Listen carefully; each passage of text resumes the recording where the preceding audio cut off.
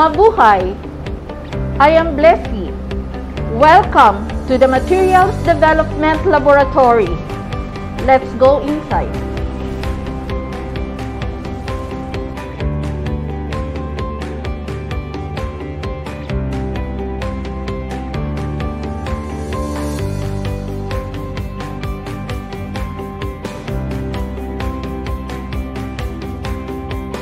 Carlo, one of our researchers, will be our tour guide. Welcome to the lobby or receiving area, where visitors or clients are accommodated. While waiting, our guests can look at the different 3D printed products and R&D outputs showcased at our display or exhibit area.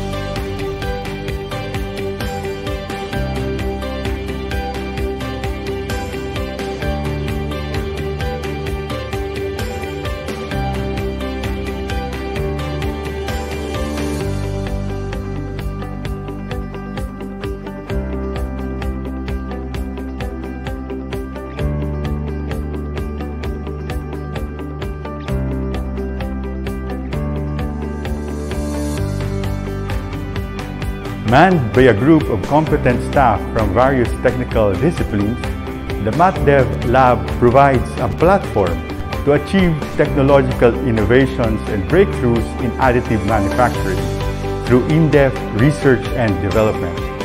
Here, MatDev's researchers are situated. This room also houses workstation computers capable of intensive design and simulation programs such as MSC and SolidWorks. Unlike conventional manufacturing techniques, 3D printing is well suited for printing complex shapes or geometries using less material. Almost all ideas can therefore be turned into physical objects. To realize these, the MatDev Lab has tools in designing, 3D modeling, and simulation using computer-aided designs or CAD such as SolidWorks and MSC. Let us now visit the first lab, the FDM laboratory. Let us now take a look at what's inside.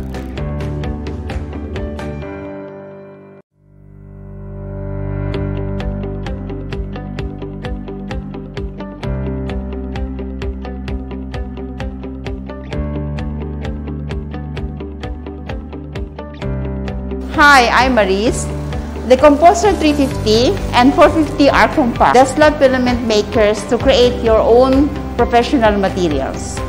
The Composer 350 can handle up to 150 temperature, so which means it's uh, relatively used for polylactic acid or PLA and ABS or any other low temperature thermoplastic materials. On the other hand, we have the 450 and can process PEK, PETG, PEK, PET or PETG, uh, thermoplastic polyurethane, and thermoplastic elastomer. So actually our 3D Devo uh, Composer 350 and 450, it has uh, mixing parameters which can you can add more materials and additives. So it is also designed for effortless operation with this a very simple interface, automatic net uh, spooling, and industrial grade components. All packed inside a compact uh, silver powder coated interior, something like this one, and the powder to create your own customized 3D printing filament, now at your own finger steps.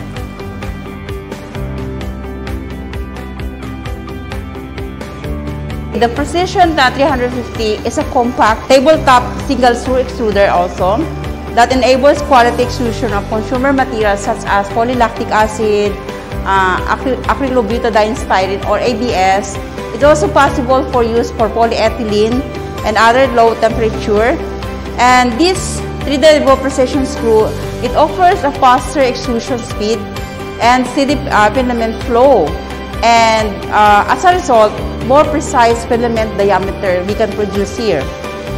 It includes a simple interface and presents to make it accessible to everyone. Equipped with the next generation automatic net spooling, we have this spooling here. This prevents downtime during printing. Built in with the strong uh, durable components, a long productive lifetime is assured for this particular uh, 3devo Precision 350. Hi, I'm Mark. This here, the Shreddit shredder has twin capabilities of a shredder and a granulator, together processing as much as 5 kilograms of material per hour. Old plastics can be converted into high-quality 3D printing granules of any desired size in just one run.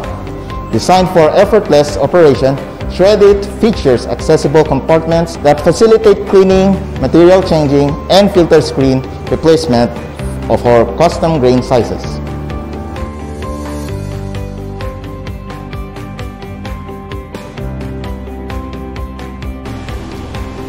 Hi, I'm Alvin, and this is the Creality Ender 3 Pro. It is an affordable fused deposition modeling or FDM 3D printer which provides a decent build volume, magnetic bed, a power recovery mode, and a tight filament pathway that makes it easier to work with flexible materials. Common thermoplastic filaments such as PLA, wood composite, and TPU can be printed using this machine.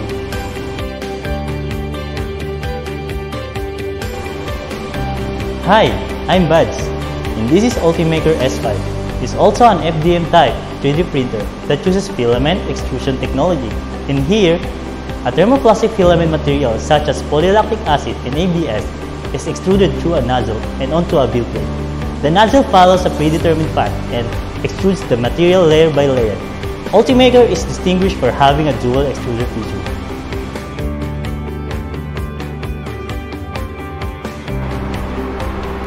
Hi, I'm Marlo. This is the FDM printer Markforged Mark II. Markforged Mark II is a special type 3D printer known for its fused filament fabrication or FFF and continuous fiber reinforcement or CFR. It uses microcarbon fiber filled with nylon for high-strength material. Aside from carbon fiber, it also supports other fibers such as Kevlar, fiberglass, and high-strength, high-temperature fiberglass.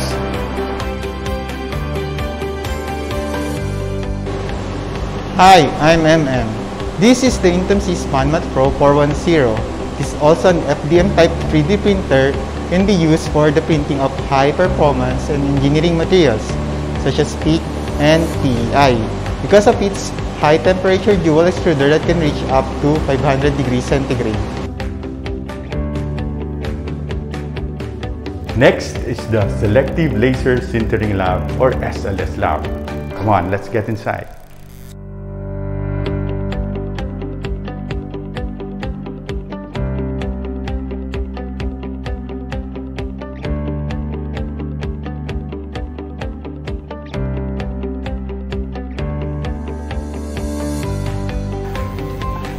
Hi, I'm Drew, and this is the Sinterit Lisa Pro.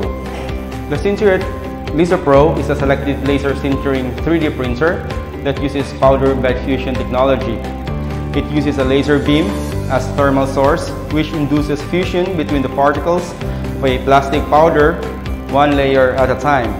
Unlike any other printer, the Sinterit Lisa Pro requires no support structures.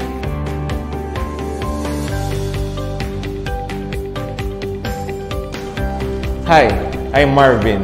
The Artec Space Spider is the ultimate industrial 3D scanner of metrological accuracy. The Artec Space Spider is a high-resolution 3D scanner based on blue light technology. It is ideal for capturing small objects or intricate details of large industrial objects, all with high resolution. The Space Spider offers extreme accuracy and brilliant color. It is ideal for molding parts, PCBs, keys, coins, or even human parts. It offers new options for reverse engineering, quality control, product design, and manufacturing. Let us now visit the Characterization Laboratory.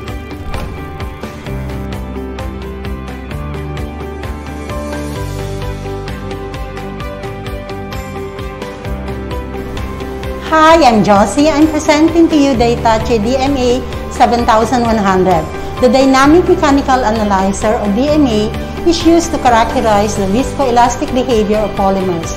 A sinusoidal stress is applied and the strain in the materials is measured, allowing one to determine the storage and the loss moduli. The temperature of the sample or the frequency of the stress are often varied, leading to variation in the moduli. This approach can be used to locate the glass transition temperature of the material as well as to identify transitions corresponding to other molecular motions.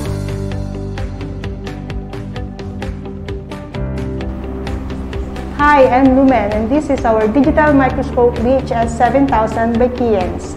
Keyence VHX 7000 is a digital microscope with a large depth of field and advanced measurement capabilities for inspection and failure analysis. It was developed to improve microscopic observation through the use of adaptive lighting and focusing. It enables observation methods and three-dimensional analysis. Its magnification power can reach up to 2,000 times. The multi-lighting function enables accurate observation of previously unseen surface details such as minute cracks or defects. Real-time depth composition enables the sample is always in focus and the navigation window ensures the user knows exactly what portion of the sample they are observing even at high magnification. This is the Stereolithography Apparatus Lab or SLA Laboratory.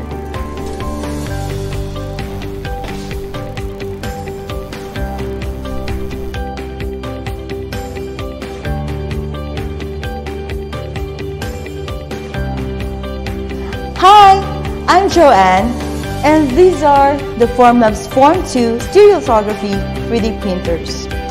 It uses VAT photopolymerization technology wherein a liquid resin is exposed to a single point laser and undergoes a chemical reaction to become solid. It has a build volume of 5.7 by 5.7 by 6.9 inches with up to 25 microns layer resolution. MatDev has two Formlabs SLA units. One is intended for polymer and another is dedicated for ceramic materials.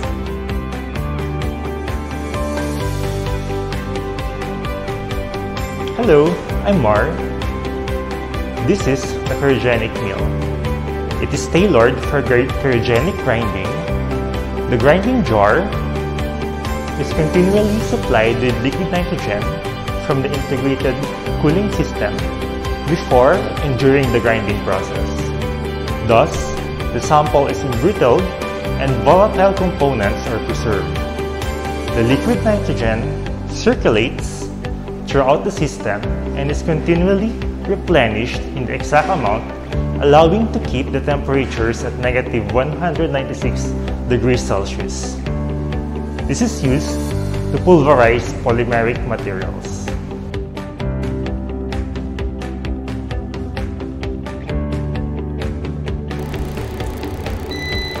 Hi, I'm Jen. Planetary ball mills are used whenever the highest degree of fineness is required. Apart from the classical mixing and size reduction processes, the mills are also capable of colloidal grinding and mechanical alloying. The extremely high centrifugal forces of mill result in a very high pulverization energy and therefore shorter grinding time. This PM200 is a very convenient benchtop model with two grinding stations, which can process familiar additive materials such as alloys, bentonite, bones, carbon fibers, cellulose, ceramics, clay, mineral, glass, limestone, wood, and many more. Let us now go to the room where we can find the spheroidizer.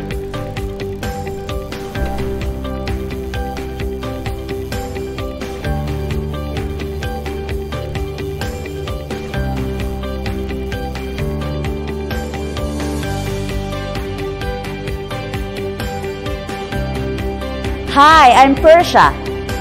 A first in the Philippines, MatDev now has the Tekna Tech 15 spheroidizing machine. The spheroidization improves powder flowing properties, providing a more homogeneous and stable flow while feeding. This then allows flow to run at faster or slower rates without clogging problems and translates into better material for powder metallurgy applications, additive manufacturing, and advanced coating technology.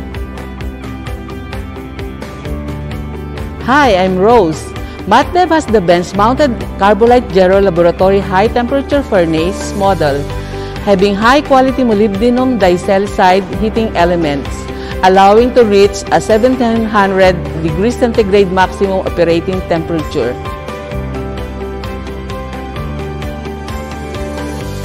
Its capacity ranges from 4 to 10 liters. Its vertical lift door keeps the heated surface away from the user. It has an advanced refractory interior used in combination with energy-efficient low thermal mass insulation.